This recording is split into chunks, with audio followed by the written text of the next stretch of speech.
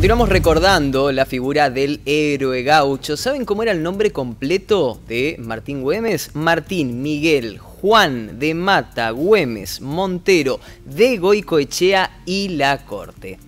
Un dato para aportar. La localidad de Juan José Castelli también le brindó su merecido reconocimiento.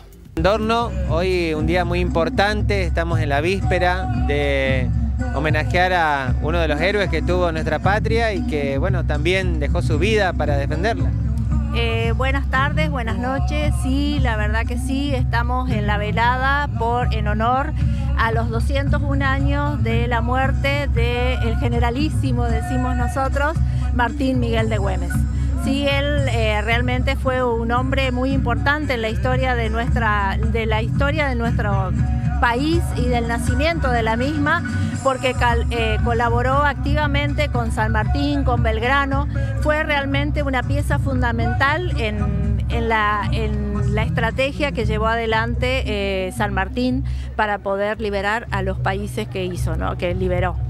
Eh, hoy lo hacemos como una velada donde van a estar presentes, están presentes las agrupaciones gauchas, eh, también eh, la policía montada, que fue la que abrió el, digamos, la caravana eh, que se hizo alrededor de nuestra localidad, en las avenidas, por las avenidas Alem, Juan Domingo Perón y San Martín, para terminar aquí en el monumento. Están presentes las academias de baile, ¿sí? ocho academias de baile y también las academias de los jubilados, que siempre están presentes en todas las todas las actividades propuestas desde la municipalidad.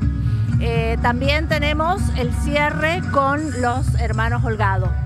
Así que eh, es, una actividad en la que bueno, siempre proponemos eh, reconocer la figura de Martín Miguel de Güemes como uno de los hombres más importantes de la historia.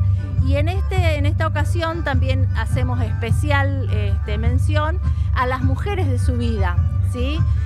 sobre todo a su madre, a Machaca, su hermana y a su esposa.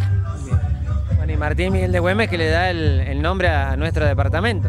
Exactamente, sí, como decía recién el intendente, hace poquito, el, sábado y el domingo tuvimos un festival, el Festival de Jineteada y eh, Canto del Impenetrable, donde también, digamos, en el predio Juana Zurduy, el domingo tuvimos una obra de teatro con muy buena acogida, donde Juana vive con la actriz eh, Luisa Culió, que habla obviamente de Juana Zurduy, una mujer también muy ligada a la, independencia Belgrano, a San Martín y obviamente al general Güemes. Silvia Andorno, muchas gracias. Gracias a ustedes por estar.